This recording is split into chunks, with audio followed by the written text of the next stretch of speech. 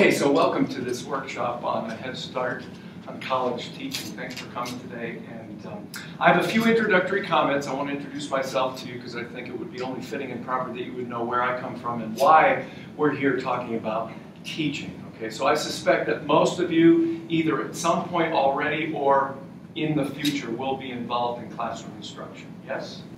Very good, very good. Okay, so, well, first of all, my name is Bryce Lane, and I'm a faculty member here in the Department of Horticultural Science at NC State University. And I've been at NC State for 31 years. I'm in my 32nd year. And many, many years ago, when my wife and I moved here with our six-month-old daughter, we thought for sure we would end up back in western Massachusetts, where I grew up, in three to five years.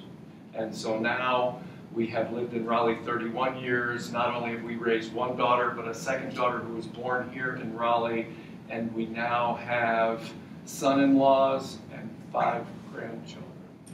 So, uh, my perspective relative to what I'm going to talk to you about today relative to teaching is indeed um, influenced significantly by who I am and where I came from. And so we want to talk about teaching. And um, it's a it's a subject that's very near and dear to my heart. It's something that I've, I've done for a long time. I grew up in Western Massachusetts, and when I was 16 years old, my father told me that I had to pay for half my college education. And I looked at him and I said, well, who said I was going to college?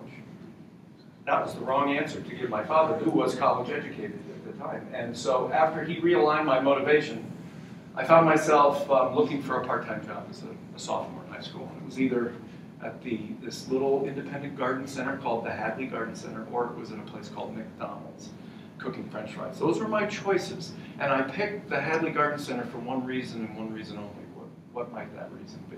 Anybody got any ideas? Yes. You like plants? No, I didn't even do anything with plants. Yeah. Acorn? Pardon me? Acorn? No, no. It was just no, in fact, they paid less. they paid less than McDonald's. No, really, the main reason was very simply this. I enjoyed being outdoors. And so they hired me as a car loader at the Hadley Garden Center. I was the very best car loader at the Hadley Garden Center. I was so good that they asked for me. People would ask for me because I could take these bags and bring them up over that trunk latch and put the bags of cow manure in the trunk without splitting the plastic and spilling the cow manure. And so that, you know what that got me? That got me promoted. I got promoted from, from uh, car loader to fruit tree potter, and I was such a good fruit tree potter that I got to, to be involved in fruit tree sales, and then from fruit tree sales to nursery sales.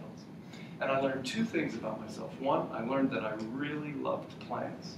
And two, I learned that I really loved talking to people about plants. That was all I knew at the time. So I changed my major when I went off to college into plant science or horticulture. And at my senior year, the late Dr. George Goddard, my advisor, sat me down one day and he said, have you ever thought about graduate school? And I laughed. I actually started to walk out of his office. He said, no, really, have you ever thought about graduate school? I said, no. I have an assistant manager position all ready for me when I graduate from college at the Hadley Garden Center. I was married at the time. I married young, married my high school sweetheart, who I met at 15. Okay, we got married between my sophomore and junior year in college. I know. But we've been married for 35 years, so it must have worked. Anyway, I said, everything's all set, Dr. Goddard. I really don't need to be thinking about that. I said, why would you even suggest graduate school? He said, I think you'd make a good teacher. He saw something in me that I didn't even see myself. And as a result, I came back about three days later and said, Let, us talk a little bit more about this graduate school thing. What would I have to do? How am I do that? What? and so I ended up going off to graduate school.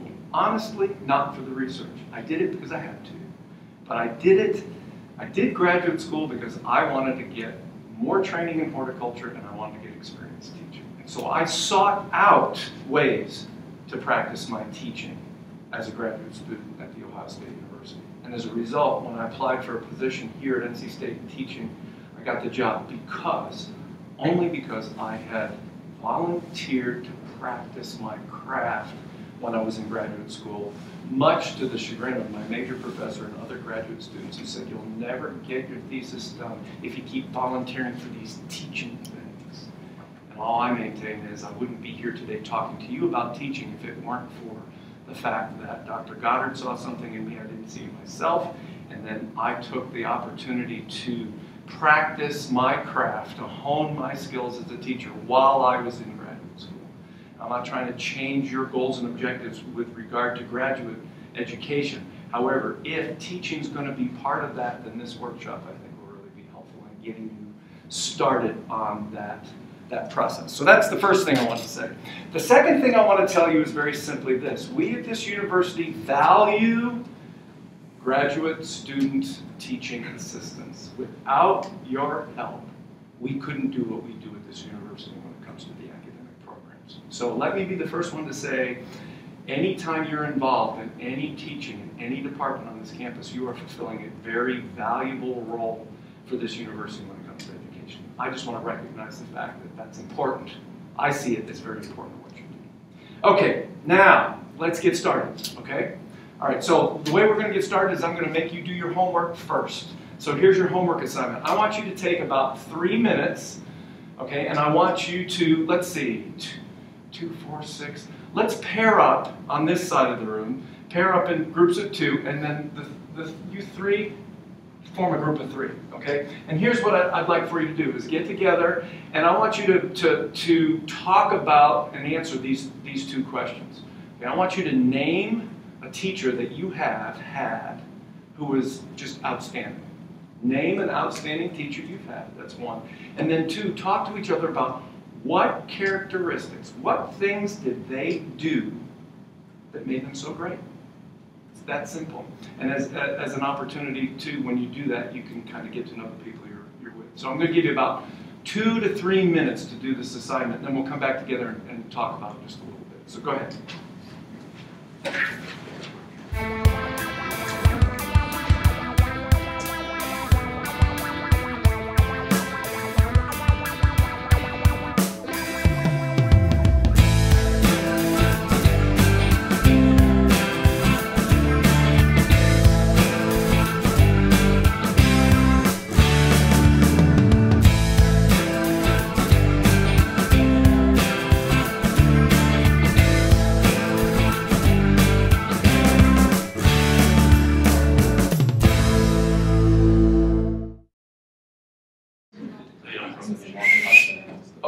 Time's up. Time's up. Good work, everybody. Thank you very much for doing that. If you maybe take your seats. So here's here's the drill. Here's what we're going to do. What I, the first thing I'd like for you to do is if I if I ask you uh, on behalf of your group to give an answer that you would uh, you just go ahead and, and do that. And the first question I'm going to ask is to actually name names. I want to hear what these individuals' names were. So Jonathan and Jared, what what was one of the names of one of the outstanding teachers you guys talked about?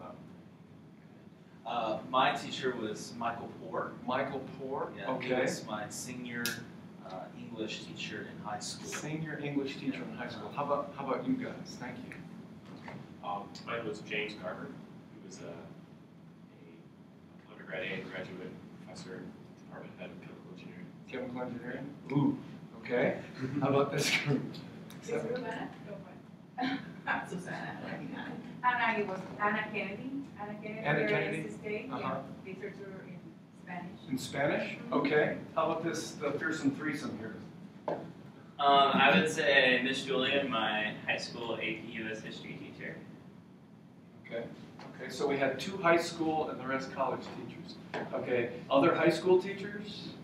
Other college teachers? Okay, so now, just as a, as a group, as a whole group, rather than group by group, what, what I'd like to do is have you um, just volunteer up what characteristic, what thing did they do, whatever it was that, that, that would characterize them, what made them outstanding? What was it that they did, something they did? Anybody? I'm just gonna, I'm just gonna put a running list on the board so we can see what kinds of things. Who wants to start? Yes, Susanna. Passionate about what they passionate. I didn't talk to you before this workshop and ask you to say passionate, did I? I promise. No, okay. How many others passionate? Okay, look at all the passion in the room. Okay, somebody else. Jared? Instill creativity. Creativity. I like this pen. Good. Creativity. Others create, create creativeness, creativity a little bit. Okay, someone else? Yes. Very patient. Patient. Okay, good. Other patients? Yes? Okay, what else? Yes. It might also sort of fall under passionate, but enthusiastic. Enthusiastic. Others, enthusiasm. Okay. Yeah, these two I think are, are connected, but there might be a little bit of difference there. Okay. Others? Yes. Caring. Caring. And Jared, help me out here. Caring. Care, what did they care about? Cared about the students. They cared about the students. Okay. Very good. Others? Yes. In that same vein, encouraging, They were encouraging. like this, Okay. your advisor saw something in you and actually spoke up and said, oh, you would be good at this. Yeah, because I don't think I ever would have even thought about that vein as a career area within that context. He saw something in me I didn't even see myself, and if he hadn't have brought it up, boy, as a teacher, that really I feel the responsibility of perhaps trying to pay more closer attention to my students, because maybe just one word for me. The other thing, if you think about this, and during this workshop, I'll just fly off every once in a while because you know you struck a nerve. But the other thing is think about the, the negative influence you have over your students just by something you might say or not say. So there's a lot of responsibility involved with that. Okay, what else? Diversity of teaching tools. Differentiation, I think, is what he's getting at. Yeah, and I was thinking flexible. Yeah. You know, the ability to teach the same thing in different ways. Right. Um, diversity in, oh, I got it, technique. How's that sound, Yeah. Jonathan? Okay, diversity in technique. They, they had more than one way to do something. Okay, good. What else? Anything else? I don't want to beat this one, but Amanda? Challenging. Challenging. Ooh, how about, okay, I'll put challenging. I was going to put demanding, but challenging, challenging sounds more, you know, it sounds better than, well, they demanded a lot from me. What else? Anything else? Okay, very good. That's, that's awesome. Passionate, creative, patient, enthusiastic, caring, diverse in their ability to explain things, challenging. Can I add a couple? Um, clear, clarity, okay? When I was 10, I lived in a neighborhood that had was being built, and people were coming into the neighborhood, kids, we'd all get together. Back when I was a kid, you could play outside by yourself without your parents, and, and social services would not be called. And, and so we'd go out and we'd play, and what we do, we play games, and games had rules. New kids were always coming, learning the games. Guess who always got elected to explain the rules? Now there's a nudge way back when I was 10. I didn't sit there and go, I think I'm going to be a teacher because I can explain things clearly. But with, within the context of my own person, I have that somehow have, have the ability to be able to explain things without confusing people.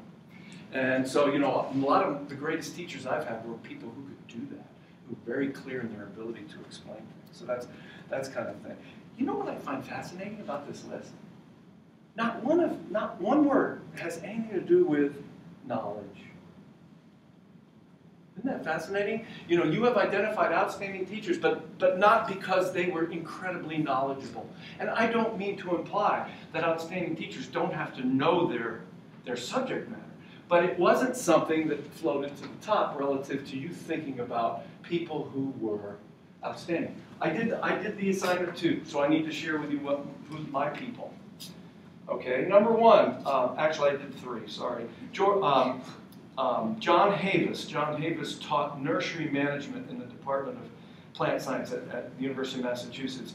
And the reason why he was so good is because he absolutely loved his subject matter. He was in love with nursery management.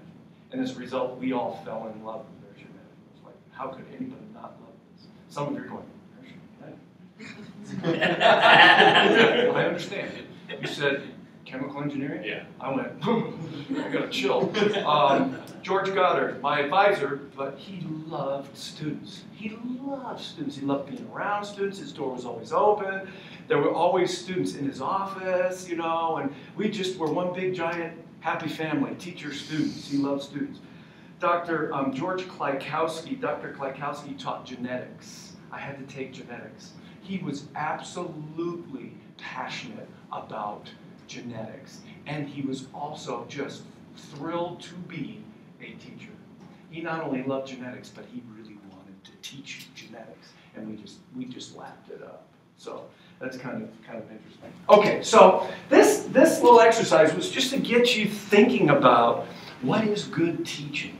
Because, you know, a lot of times out there in university circles, they'll say, well, you know, teaching's not something to really identify what good teaching is, what great teaching is. We can't really identify the characteristics of good teaching and then measure them. I mean, is there a passion meter in a, you know, can we, can we actually put a number to passionate or to clarity, those kinds of things? Are these, are these things we're born with? Are these things that we can learn and improve upon? You know, these are the classic arguments when it comes to, to teaching.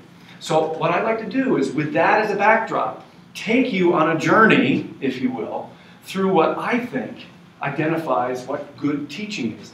Way, something that you can actually sink your teeth into as you enter into the classroom, the laboratory, the discussion section, whatever you might be doing with students. There are some skills and abilities that you may be able to apply. To do that, I need to create an illustration or a, a, a comparison. I would like to use quilting okay, as an example or as a comparison for, for, for teaching. I'd like for you to think of teaching as a craft, okay? Not as a science, not as an art, not as something that, you know, one of the three prongs of the university, research, teaching, and extension. Okay, somehow teaching ends up in the middle. I'm not exactly sure why. Research is always listed first. I'm just saying. Okay, teaching as a craft. Now, how many of you have a craft? Do a craft. What do you do, Sarah? Knitting. Knitting. Okay, somebody else? Jonathan? Music making. Music. You make music. Is it in a pot? You use- no, no, it's in keyboards. okay, so you, you, you write music. Cool. Somebody else? Cooking. You cook. Okay. All Is right. that a craft? Then I cook.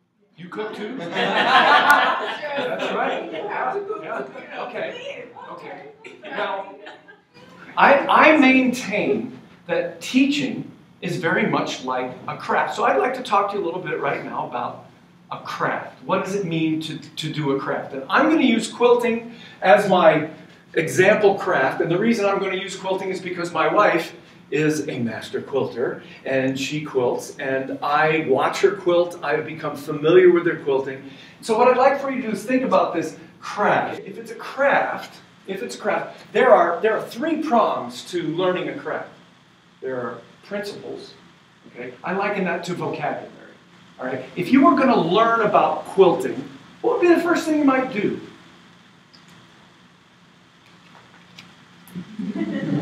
what might you do? Read about it.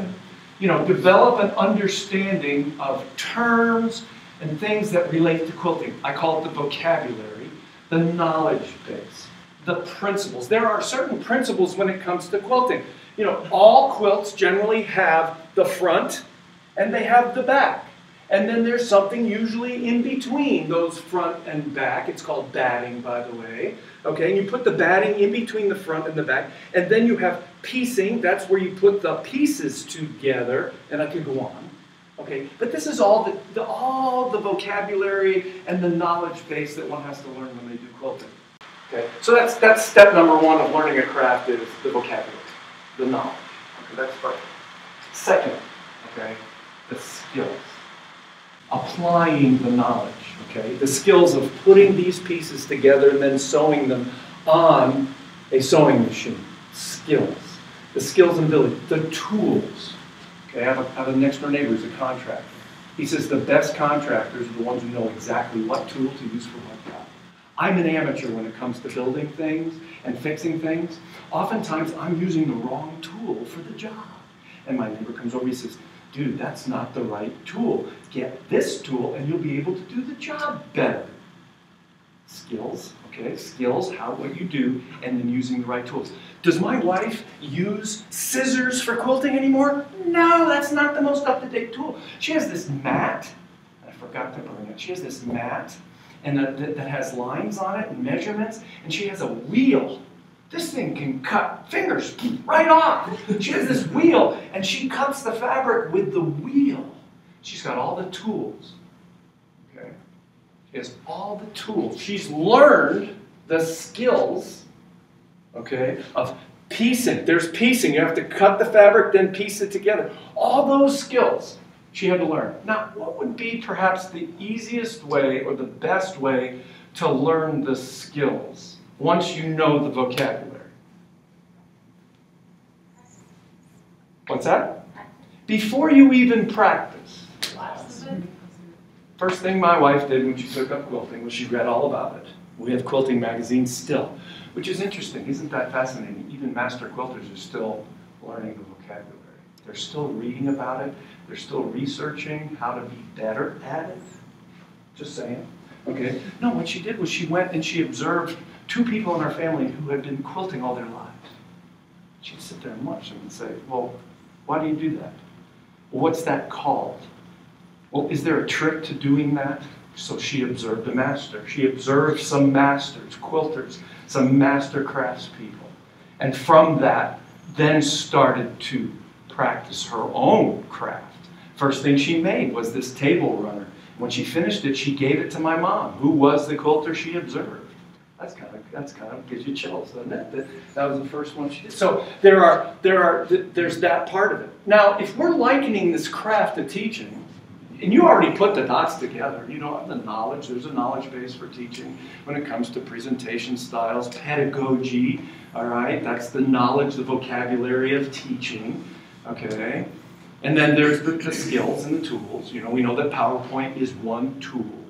Okay, if we use it as the only tool, it becomes the devil.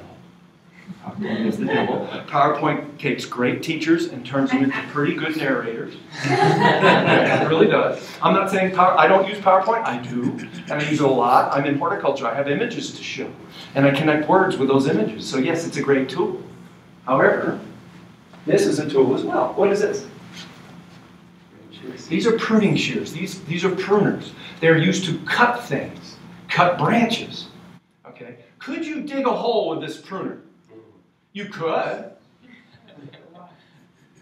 Two things happen when you use pruners to dig a hole. Number one, the hole isn't as good as it would be if you used the right tool to dig that hole, right? A shovel would do a much better job, or a trowel, than a pair of pruners. So the hole might be not very good. Secondly, you ruin the tool. It, it's no longer effective for what it needs to be. So we've got all these tools for, at our disposal for teaching, and we stick to one the silver bullet of teaching. It's PowerPoint. And as a result, the tool itself becomes ineffective even when it would be used appropriately because we use it too much. Okay? We don't we use it for the wrong thing. Henceforth, I didn't bring PowerPoint today. No PowerPoint, sorry. Okay? Yeah, but you brought a handout. Yeah, but you don't get it till the end. Okay? So I'm going to leave this tool by the way, take care of your tools. It says a little holster. You put it in there, you wear it. um, craft, back to craft. So, you know, quilting, craft, we're done, right? There's a third prong to every craft. What is that third prong? Exploration. Craft, knowledge, skills. My wife designed this. Okay? She, she, she chose, she went in and she picked some tree patterns. But she created this wall painting for my office. All right, and she chose to put this tree, the tree of temptation, next to this tree, the tree of something else, and next to this tree. She, she chose these trees and she picked this design. And then, you can't see it very well, but on the, on the, the side of it, there are leaves that have been quilted in the side. And these leaves she lifted out of the Manual of Woody Plants by Michael Dirr, which is the textbook I used for the course that I taught. And she etched those in here. And this hung in my office for 25 years. What is that third prong to the quilting, to this craft? Starts with A. Art. It's the creative part. The creative part is what brings this all together. Isn't it the creative part that makes this hers? This is you can I, I look at this, I say, this is a Sue Lane quilt right here. Okay? How why is it a Sue Lane quilt, not a Jane Lane quilt, or some other person's quilt? Because she took her own creative ability, her own artistic ability, and she put it here. Now, now here's the punchline. I get chills thinking about this. This sat in office for over 20 years. One day I'm sitting there looking at the quilt like I would. That's why it's faded, by the way, because the okay. And I'm looking at it, and all of a sudden I, I'm looking at this tree.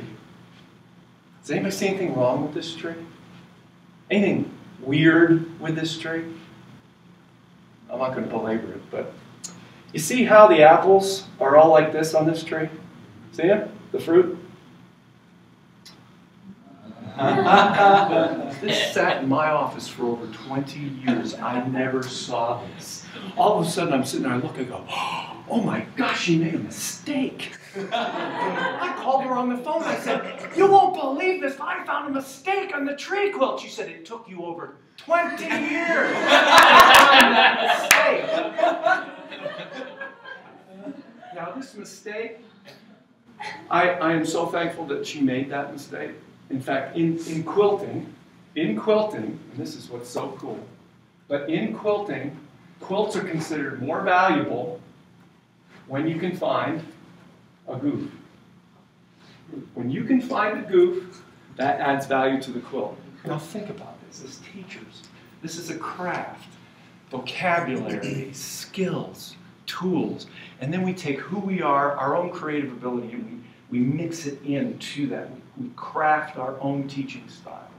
Okay? And sometimes we get it wrong. But that's what makes it so much more special. It's really amazing. It's like, oh my gosh, I, I just I value this quilt because and when I heard you guys talking about some of the outstanding teachers, you're talking about things that they did that made them outstanding, but that some of you actually heard little things like, well, you know, he did this funny thing, this little quirk, this little unique and interesting. You know, I bet the best teachers you had made some very interesting little errors and mistakes when it came to the tools they chose or the knowledge that they had or whatever. But they took their own selves, their creative part, and they applied it to that. Isn't that cool? Okay, since we're talking about quilting, I couldn't, I was like, bring one or the other, and then I said, hey, it's my workshop, I'm gonna bring both. So check this one out. All right. So, so here's the story behind this quilt. You're gonna love this, okay? 25th wedding anniversary, my wife gives me my anniversary present. It's this. My wife gave me a quilt for our 25th wedding anniversary. I open it up, I look at it, I go, oh, it's a quilt. I was looking for a car, or maybe a tool for the garden. She gives me a quilt. I'm thinking, well, this is odd. And then she said, well, don't you recognize it? I said, nope, never seen it before. She's been working on this secretly, never showed me what, what it was. And she said, Bryce, I've collected the shirts that you've worn to work for the past 20 years.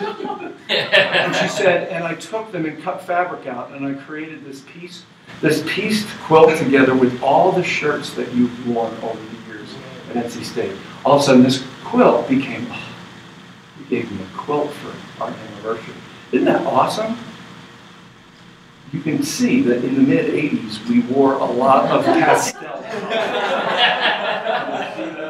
okay? But you know, I mean, so you know, there's the creativity part again. She chose to use fabric from shirts, okay, preferably probably the middle of the back of the shirt. But anyway, there, there you have. Uh, oh, and then of course she did the little dedication or anything on the back with one of the shirts I wore, and there's the pocket. Isn't that awesome? So yeah, so yeah, so there's there's my my my illustration here for um, teaching is a craft and using quilting as an example. And you know, I, I didn't, you know, I, I picked quilting and, and I, I ascribed to that philosophy of teaching, but I didn't, you know, I didn't make it up, okay? So here's the first book recommendation. If you want to read about teaching as a craft, a guy by the name of, an educator by the name of Kenneth Eble wrote a book called The Craft of Teaching. The other one that, that relates to teaching as a craft is called The Skillful Teacher. There's that word skill involved, skillful teacher. But um, I really, really want you to to, to consider the idea that the, the best teaching has a huge creative vein, okay? That is very much a reflection of who you are, okay? Not that that is what makes the best teachers, but it's a big part of teaching as, it's, as it goes. So let me pause here because that's kind of like, that's my intro. Now I want to go and say, okay, so how can we become the best crafts teachers that we can be? But when you learn the craft, it's, not, it's about reading about it, learning about the vocabulary, okay? Spending time watching and being around those who already have the skills and abilities to learn the skills and abilities. And then the third part would be to practice, practice. Even the best artists practice. Even the best athletes practice. the very best people who have those abilities that you might say, oh, that's, that's, you know, they're a natural. They still practice their craft. Okay. Now, um, let's put it right out there. Does this mean that everybody that teaches can be absolutely, totally outstanding? Does it mean that teachers can learn how to be better teachers and become more proficient at their craft? Yes. But my wife has some skill, she has some natural abilities that facilitate her design and her talent that are better than others and worse than others. And that's the reality of the situation. By the way, this quilt took honorable mention at the NC State Fair. Okay, she's won first place on her quilts at the NC State Fair and won nothing showing quilts at the NC State Fair. But nonetheless, it's, it's a reflection of her ability to learn and apply, but also those natural abilities that she has. I'm just being really honest and realistic about if we ascribe to teaching as a craft, then there will be teachers who are absolutely outstanding, right? and there'll be others who will be good, proficient, that may never ever get to the point where they are incredibly outstanding, just because of that artistic aspect to it. That's my take it's, it's, not a, it's not a big deal, but it's a huge deal. Because what you have to do is sit down within yourself and say, okay, you know, where am I at and how does it work? Any questions, any comments at this stage? Let's pause here just for a second and see. Are you excited about this? Okay. Even if you're not, I am. So, okay, so that's number one. Teaching is a craft. Number two. Oh, by the way, I got to get this out. Ernest Boyer in early 1980s wrote a, wrote a publication called Scholarship Reconsidered. And in that, in that publication, he claimed that scholarship involves research, okay, discovery, okay, dissemination, extension, but he also called teaching a scholarly activity. You're you saying when you publish in a teaching journal, that's scholarly? No. He said that the very art and science of teaching in and of itself is a scholarly. That writing a syllabus is a scholarly activity. Writing an exam is a scholarly activity. And what you put together to teach for learning is a scholarly activity. And he claimed in his in his in that journal article in 81, 82, he claimed that the uni- university system will not change when it comes to looking at teaching as a scholarly until the very teachers and the very faculty member at the university, faculty members at the university embrace that philosophy. So I ask you, is that philosophy embraced today in higher education? That's a rhetorical question. You don't need to go there. But that's an important question relative to your career aspirations. Let's be realistic about this. Because most of you are going to pursue careers that might you might be asked to do research and possibly teach. Do research and do extension, which is in essence a form of teaching.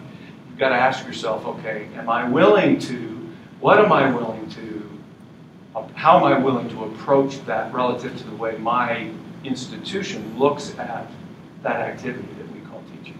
As, is it scholarly? Because what I hear is, oh, it's scholarly only if you publish something you did in teaching in a journal. That's not what Blair was saying. So it's something to chew on. Okay? So what is good teaching? Well, literature says this. Subject matter plus a generic methodology. Now, doesn't that sound exciting? Take the subject matter, chemical engineering, okay, and then add it, take that subject matter, and then some sort of method of delivery. We call it download now.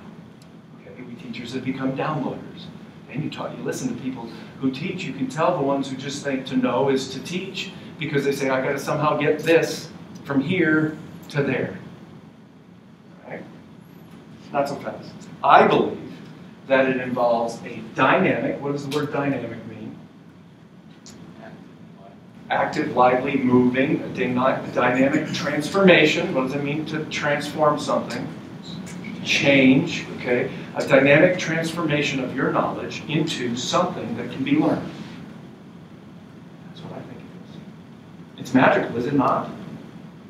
You've experienced it. You talked about people who had that ability, who took that, that knowledge, a dynamic transformation of what they knew, into something where you bought into it. You learned it. Okay? So that's that's pretty darn exciting. How do you do that? How do you do that? Now, if I've done my job, I have created an environment where you were you're going, you're saying with me, yeah, how do you do that? I want to know. Do we have time? And the answer is yes, we do. we do. We've got time. Okay, so how do we do that? And we have more time. There it is. Okay, so how do we do that? How do we create a positive environment for learning? Because that's the rest of today's workshop. Creating a positive environment for learning so that when you walk into that lab that you have to teach, that you are actually thinking about what I can do to create a positive environment for learning. Because you can't make people learn. Sorry, you can't. You can't motivate students. You can't make them learn. Students are motivated. They might be motivated to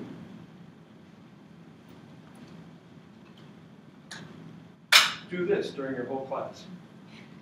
They're motivated. They're just not motivated to engage in what's going on in your classroom. So my question is, what can we do to create an environment where if students choose to engage, they'll learn? Because to me, that's the secret. I'm an environmentalist. That's what I am. And it's my job, my job as a teacher, to create an environment where you, if you chose to, to engage, by the way, I'm happy to say that each and every one of you are fully engaged right now, and I can see that.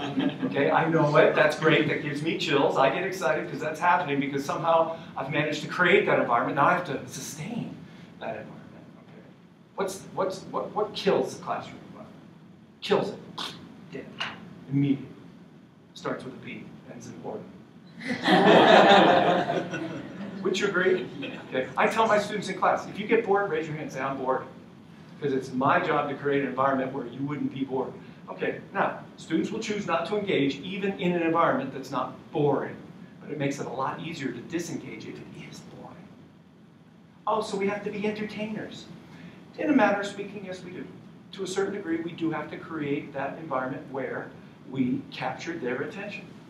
We'll talk about that for a while. So,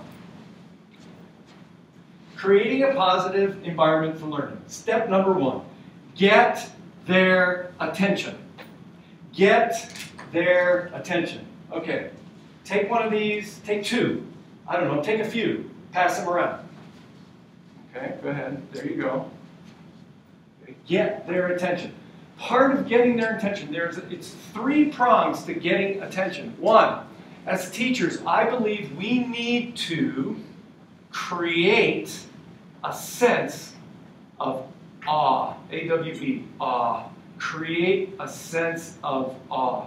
Okay, so in college education, it looks something, it looks something like this.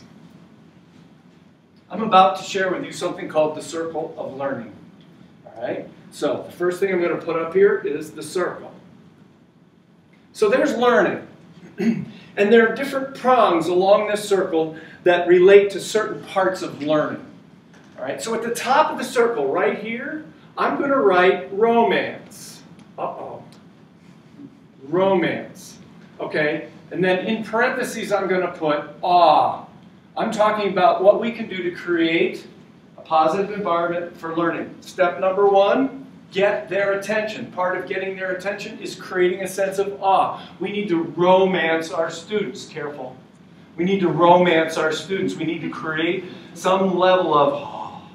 okay? Because, because of the second prong of learning, by the way, this, this is where we all start as teachers. Precision.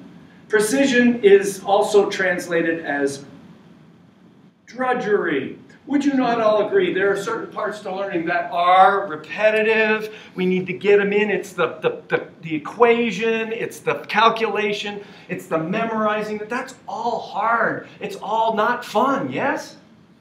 Why would we want to do this? I mean, walk into a college class and the teacher's, all right, today we're going to talk about photosynthesis. The equation for photosynthesis is.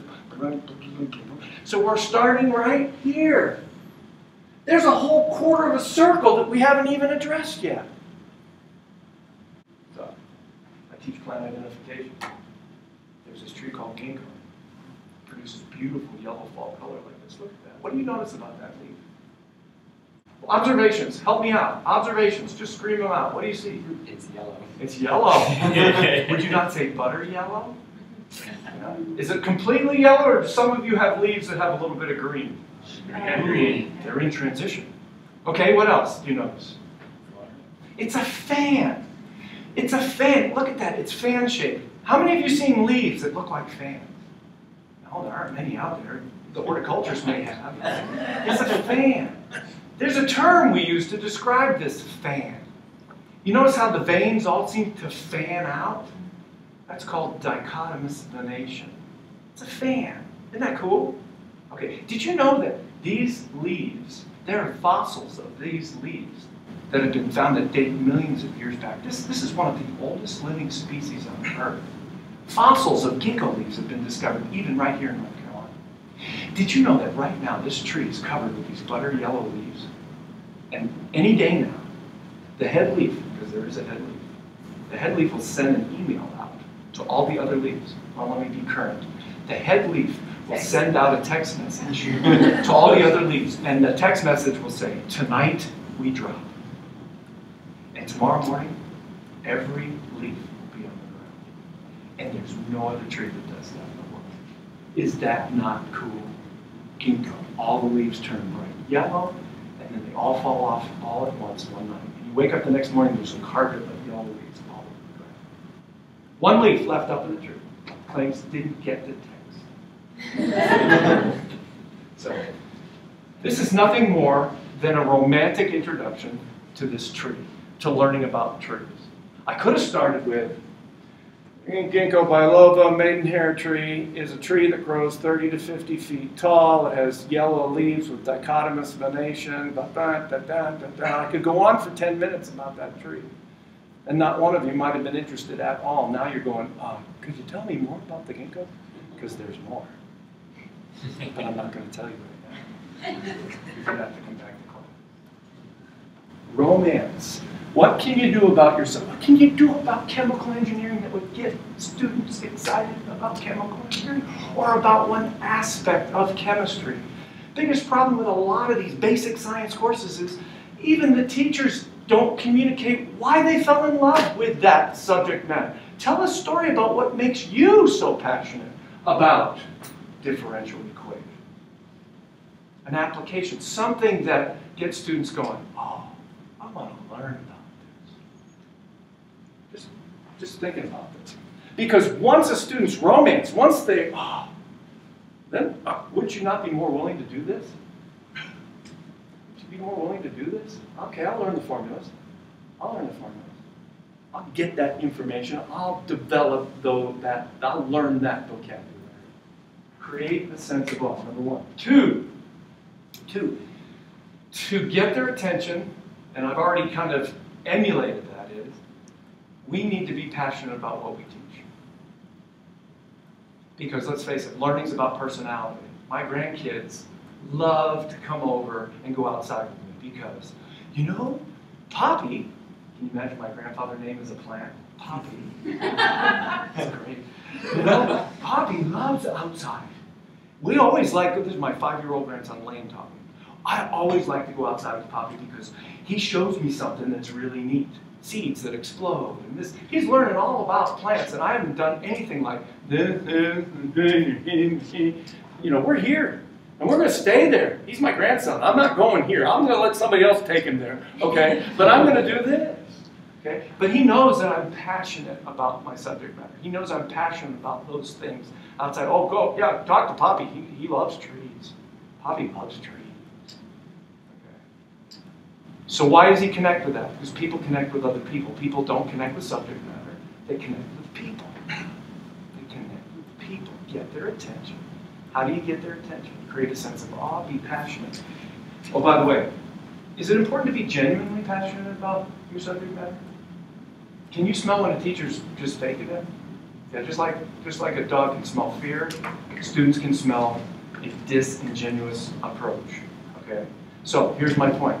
If indeed someday you want to teach, you need to be 100% on board with being genuine about being passionate about your subject matter.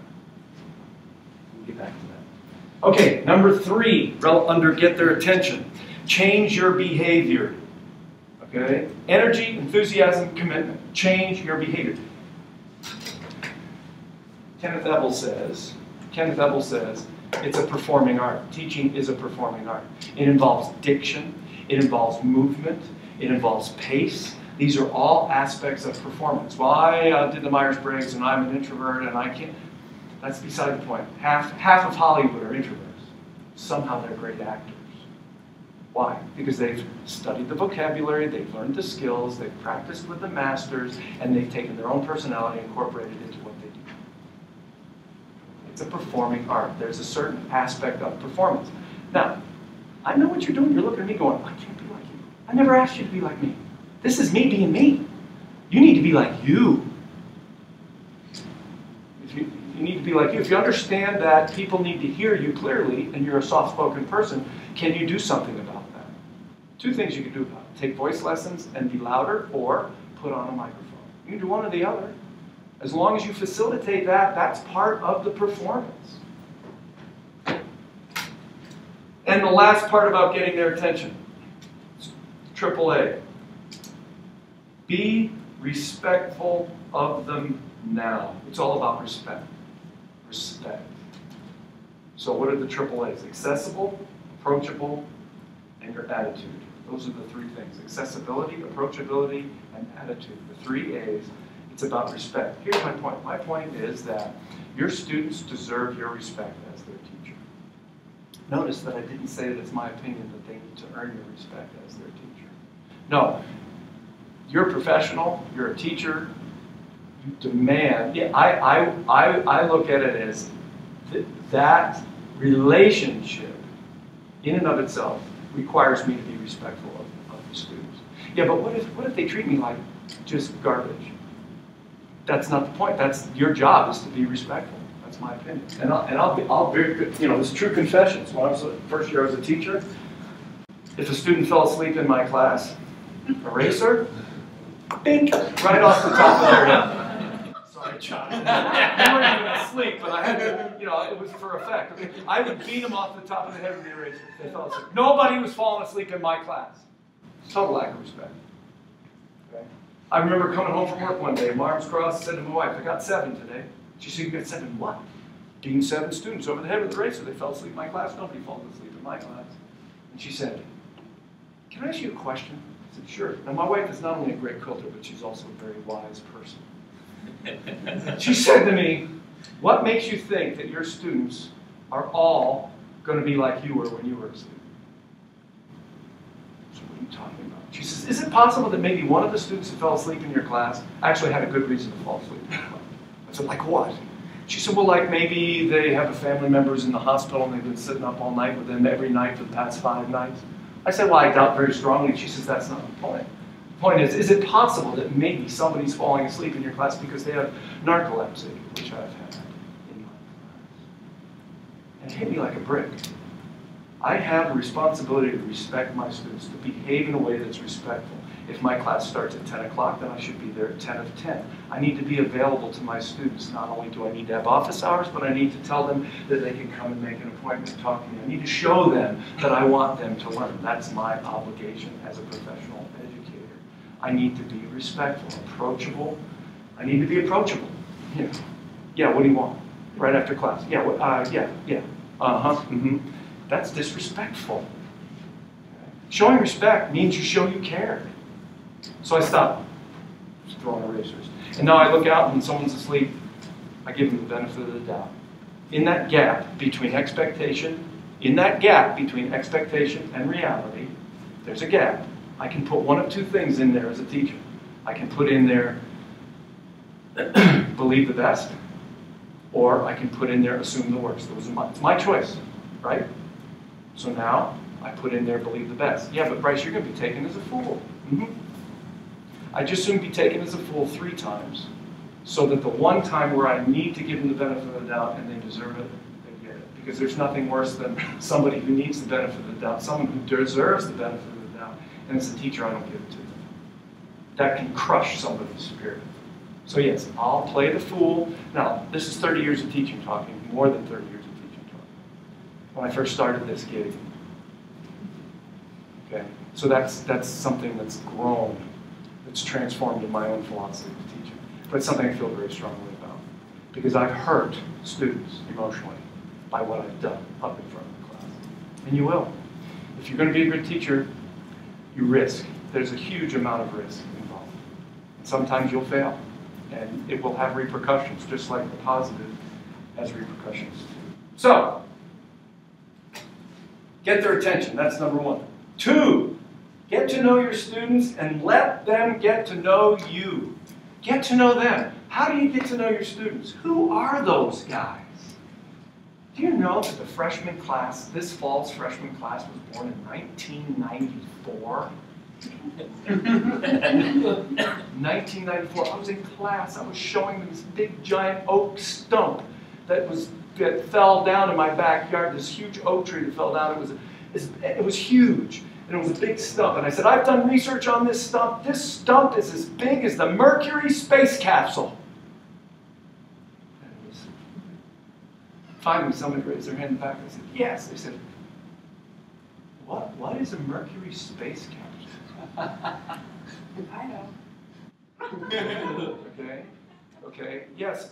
We, we before we went to the moon, we had to try to get up into space. And the way we tried to get up into space is on the top of a big giant torpedo.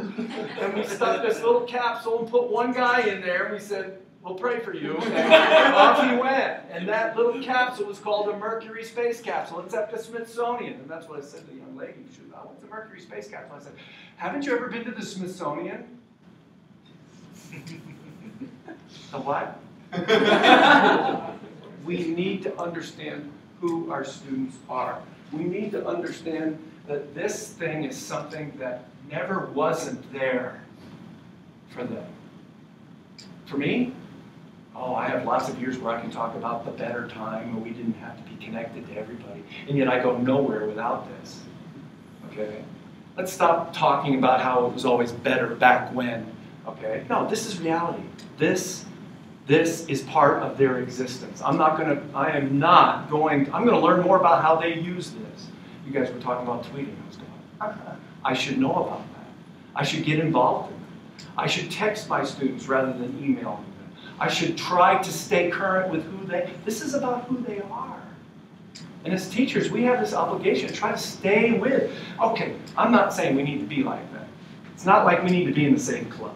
Because I'm 55 years old. I can't be in the same club as a 20, 21 year old or a 20 year old. They'll tell me that very quickly if I try to be in their club. Okay? But I can be current. I can understand them better.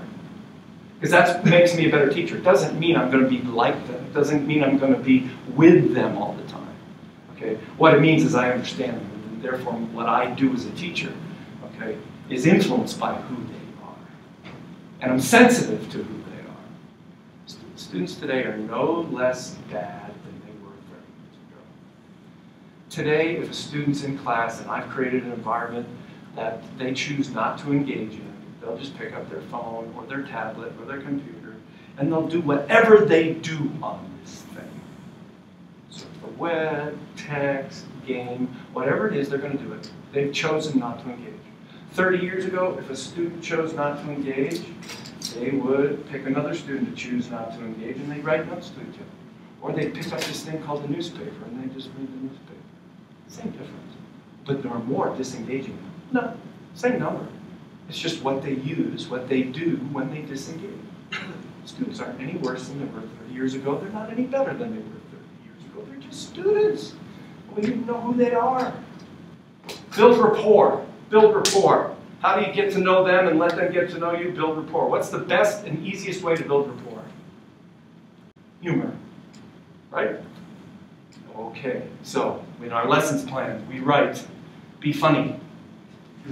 doesn't work. I got news for you, it doesn't work. But, first day of class, I got the syllabus. Some of you heard me tell the story before. I don't care, it's a good one. I got the syllabus. I'm in the class, I'm talking about all the great things we're gonna do this semester, oh, we're gonna do this, we're gonna do this, we're gonna do this, you know, and they're just, just watching me, and it's quiet, no reports, the first day class, they don't know me, I don't know them, you know, we're going along, and I have a, I have an indelible pen, and I'm checking off the different things, and I go and I put it back in my pocket, but instead, I put it back in my pocket with the cap like this. It was a Sharpie, okay? And they don't pay me to advertise Sharpies, but it was like this, I put it back in there, I had a white shirt on with a tie. Little black dots formed right there, okay? And there were students this far away. And the dots started to grow. And it got to be about the size of a quarter, no one said a word. I'm going on, just ding, and this thing's getting bigger and bigger. I'm like, and it got about this big. And finally, a student in the front row looked at me and went, that was the extent of their, hey, buddy, you got something wrong with your shirt. And I looked down and I went, oh my gosh! And, and I had them. Everybody cracked up. We all laughed. Rapport, instant rapport. I let humor happen. Okay? And in fact, I actually thought, you know, it'd be worth a white shirt for every class. the only problem with that is I don't know that I could pull it off as an accident. Because I'd walk into class, you know, okay, today we're going to. You know, and then you know, so so let let I've you know I've tripped.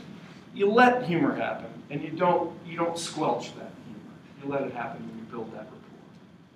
Let your teaching reflect your personality. Does, did anybody ever did it, was anyone here when the Ansel Adams exhibit was at the museum?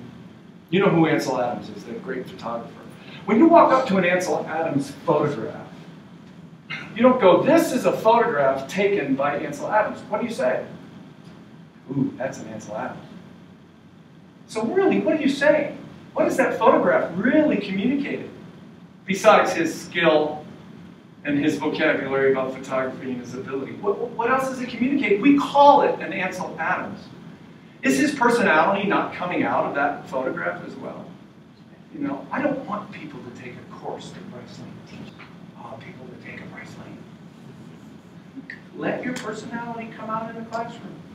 Do you think that I just started this workshop by telling you about how long, how, where I came from, who I'm married to, how long I was married, my grandkids, just because I wanted to tell you about that?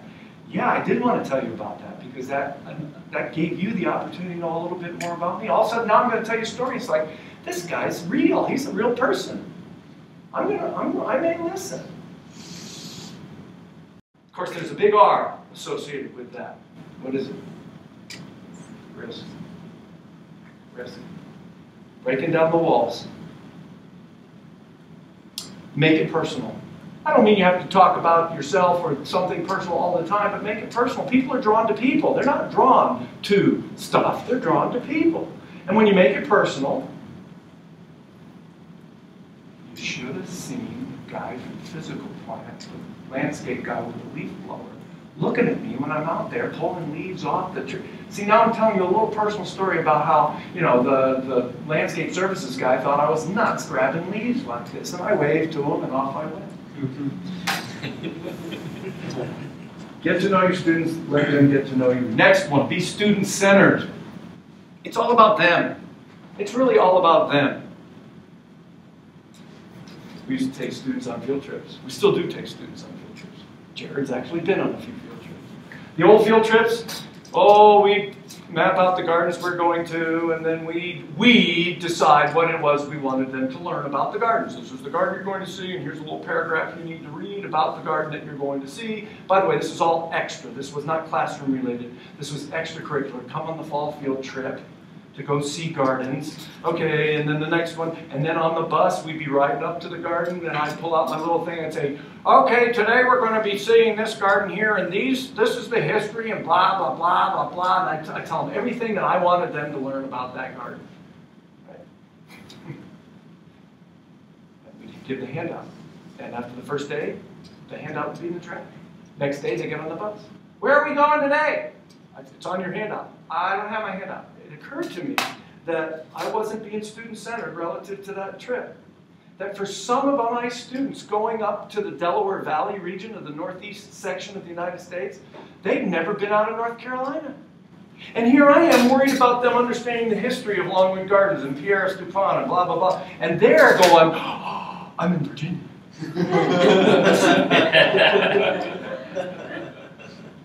or to take somebody from Johnston County off a farm to France.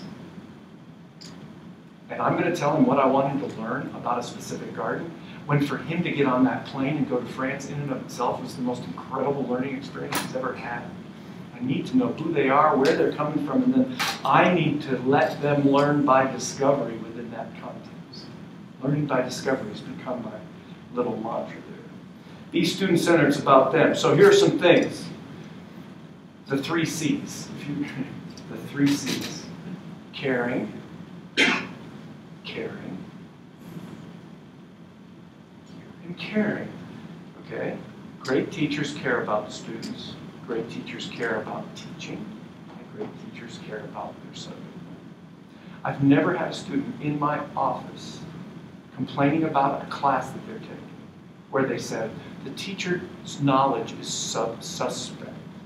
No, what did they say when they come in the office and they said, that teacher doesn't care. And I'll go, what do they don't, what don't they care about? Well, they don't care about me. Why? Because they behave in ways that don't show that they, they care about me. Well, why, what else don't, don't, don't you like that course? Well, they don't, they don't really want to teach. They don't really want to be there. They came in first day class and said, so-and-so retired and I got slapped with this responsibility, so now you're stuck with me. They said they don't care about teaching.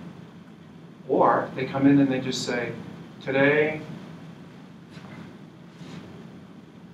photosynthesis equation is, get out your pens. They don't, they don't care about their subject matter. They don't show any passion, any enthusiasm, any care for their, it's all about caring. The best teachers are the ones who cared about all three. So, as you look at your career opportunities in front of you, if teaching's part of that, and you know that the best teachers and students understand when teachers care for them, care for teaching, and care for their subject matter, can you reconcile not caring for one of those three and still be a teacher? I'm just asking you, I don't want you to answer that right. Other things I've got written down here. Anything you can do to reduce anxiety increases learning. First day of class, always put students in groups of three and give them an assignment. Get to know each other. What do you expect to learn in this class? I'm lowering the anxiety level because a lot of the classes I teach are full of students who don't know each other. Once they get to know each other, that energy level goes up, that learning opportunity goes up. What can you do to reduce anxiety? Maybe the first quiz you give them, you give it to them such that they can all make 100 on it. That reduces anxiety. Ah, I'm successful. I mean, I've learned this, you know, the last thing I want to do is correct my five-year-old grandson. Nope, sorry, that's wrong. No, I encourage them. And when they get something right, I encourage them even more. Oh, that's great. Let's go over and look at this. And then we get in the classroom, college classroom, we say, nope, sorry, that's wrong. Can't believe you said that. Be genuine about your business. Students can generally tell in 10 minutes if you're not being genuine about your business. It takes less than 10 minutes. Can you be flexible and creative? Can you agree to do a workshop that's going to take an hour and a half and see that it's 11.15 and know that you're not even halfway done? And be able to still go on and do something with that? Can you be flexible enough to handle that? Because you need to be. That's being student-centered. Stress the positive, be encouraging, be confirming. Oh, and my favorite, don't be afraid of the F word. The F word. oh, what's he talking about? Fun. Second year teaching, I come out of my office, one of the senior professors in the department called me into his office. He said, um, I'm speaking on behalf of some of the other professors in the department. We're concerned about your teaching. I said, yes, sir. He says, you're having too much fun in the classroom. I said, what's wrong with that? Well, if students are having that much fun, they can't be learning. Quote unquote. I said, uh, I'm sorry, I disagree. Said, the more fun they have, the more they probably are learning. He said, well, how do you see that? And I said, well, you know, I said, people go to the movies all the time. They watch a two and a half hour movie and they don't move from that seat. They don't bring a notebook and they don't take notes during that movie. And then two weeks after they've been to that movie, they're sitting in a coffee shop with a friend and they say, have you seen this movie? And the friend says, no. They say, you want to know what it's about? Yeah. Well, who's in it? Well, so-and-so and so-and-so and so-and-so and so-and-so's in that movie. You know, what's it about? Oh, the plot is starts out where blah blah blah blah. I mean, that, that person who went to that movie for entertainment purposes to have fun, didn't take a note, can somehow recount all that. They, it's like it's not like, oh, wait a minute, you want to know the plot? Okay, hold on a second. Let me check my notes. And yes, the plot starts with. Oh, so what is it about that fun part? I always like the beginnings of James Bond because they always create a sense of awe in romance. I'm not talking about him with a woman. I'm talking about somehow he's flying through the air, gonna die if it was me. so by the end of the intro, before the before the first credits of the beginning of the movie, before the music even starts, I'm already like, oh, I want to, I, I got, oh, I'm there, I'm engaged, I'm totally 100% engaged. We were joking around a little bit before everybody got here about, you know, I said, oh, someday I'm going to teach a course called Extreme Horticulture. And the lights will come down, and I'll come in with a chainsaw. Oh, we were all laughing about it. But you know what? yes. You just wonder. What if we put our class, what if we put chemical engineering to music? We wrote songs about differential equations. Just wondering, my, my daughter, when she was little, my youngest daughter Megan, would sit in front of the TV and she could sing every television commercial that ever came on. And yet she struggled with math. I'm thinking, well, what if we could put math to a jingle? I mean, we laugh about these things, but somehow there's that entertainment value, that fun thing that somehow just, just completely goes into the core of our ability to learn. Learning can be fun. I was over at the gym. I spend a lot of time at the gym. I love to play racquetball. I like working out. Over at the gym, they have a rock climbing wall. Have you seen it? And these guys rock climb. You know, they practice rock climbing. So I happened to peek in one day. There was a guy on the wall, roped in, chalk all over his fingers, and he was practicing, right? Slipping, sweating. One finger had had a cut on it. It was bleeding. Honestly, I walked over. I said, "You like that?" Oh, I love this. Said, "Really?" I said, Is it hard work? He says, Oh my gosh, it's hard work. You have to practice, you have to practice, you have to practice. And I said, Yeah, it, it hurts. Oh, my muscles, when I first started, I wake up in the morning, my muscles would hurt. He said, I've learned more and more, I'm getting better at it. I said, Why do you do it? If it's so much work, why do you do it? And what was his answer? Because it's fun. What? Fun? Yeah, it's so much fun. I said, why is it so much fun? He says, it's so much fun. Ready for this? He said, it's so much fun that once you learn all the technique, all the skill, and everything, he says, you can go out and you can do it. And he said, and when you do it, you get a big rush. Okay? So if I'm a college teacher, I'm going to start here. Oh, rock climbing is the bomb. Yeah, is it the bomb? Yeah, look, see that little dot up on the rock up there? Yeah, that's a person. Oh, wow, you could do that. Really? Yeah, what do I have to do? Well, you have to learn how. Oh, you got to work, you got to bleed, you got to sweat, drudgery over and over and over again. But at one point, when you do master that, you get to do it. And when you do it, it's a rush first plant ID course I ever, I ever took as a, as a, a, junior in college at the University of Connecticut. I took this plant ID course. Philip Carpenter was the teacher. And it was fall semester. I went through fall semester plant ID. I learned 250 different species of plants, learned their scientific names, everything. I remember, I misspoke. It was spring semester. I remember going home for the summer, working at the garden center, but I got two weeks off to go on our family vacation to the Jersey Shore, of all places went to the Jersey Shore on the drive, the six hour drive down. Halfway on the trip, my dad pulled over on the Garden State Parkway. He said, Get out. I'm like, What? He said, I don't want to hear another plant name for the rest of the trip. because we were driving down the road and I was going, Hey, look! There's a Sciadopitys verticillata. And he'd go, what's that? I'd say, it's a Japanese umbrella pine. And then he'd a little bit further. And after three hours of that, pulls over, says, get out. I'm like, what? He said, don't do that anymore. What was I doing? Right here. I was taking what I learned and I was applying it to just the very environment I was in. The circle was complete. And what's so cool about the circle is if within a laboratory or a classroom we can manage to do this, then it's self-romancing. We, we, we, don't have to spend as much time on the romance part because students romance themselves as a result of that. The circle of learning, romance, precision, application, back to romance again. What do students say is associated with good teaching? I asked you earlier, you, we put some words up there. There's been significant research done, pedagogical research, where student upon student upon student surveyed. What makes teachers great? We've come up with a list of five, and these are not necessarily in the order of which one was the number one, two, three, four. Okay? What students said? Number one, clarity. This is a skill that can be learned. Clarity. Learning how to explain things clearly. Two, caring attitude. Great teachers care about teaching, about, about their discipline, and about students. Three, great teachers are organized. In fact, they've done little studies where teachers would walk into one classroom without any notes, nothing, and teach, and then they go into another classroom with a notebook, and they teach. Same lecture. Teacher wouldn't even look at the notebook. And the class where the teacher brought the notebook in identified the teacher as more organized than the teacher didn't bring a notebook. So I always bring a thumb drive with me, no matter what. That's my notebook.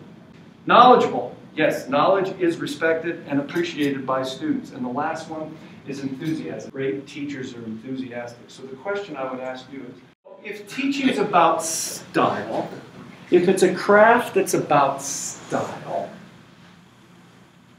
then what's your style? Not what's my style. What you saw here today, that's me. It's what my grandkids see, it's what my wife sees, sometimes for the good, sometimes for the bad. Okay? When I'm enthusiastic, I do jump around. I wave my arms, I raise my voice. That all comes naturally. And I've identified the fact that that's what I do when I'm excited about things. So what, how do I apply that? I take that knowledge and I apply it to my subject matter. I apply it to my teaching. Do I overplay it? Eh, Maybe sometimes, but no. What do you do? It's about your style. It's not about my style. It's, it takes some real hard looking to see what your, what's your style. It's about style.